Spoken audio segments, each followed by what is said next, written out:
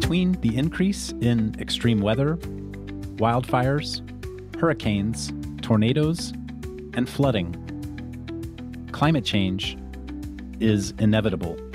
It's already here, and it's going to continue to drive change in our lives, in global markets, insurance, and in our responses, both to active events and the prevention of future calamities. But at the same time, the energy transition, the rewriting of industries to be cleaner, more profitable, and more resilient is also inevitable.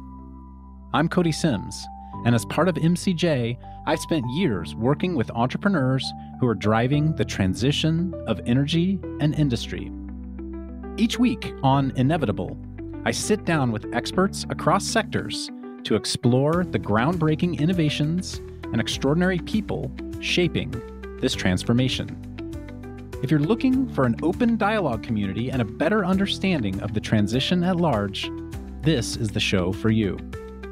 Subscribe now to Inevitable on your favorite podcast platform and join us as we explore innovations driving the transition of energy and industry and solving the inevitable impacts of climate change.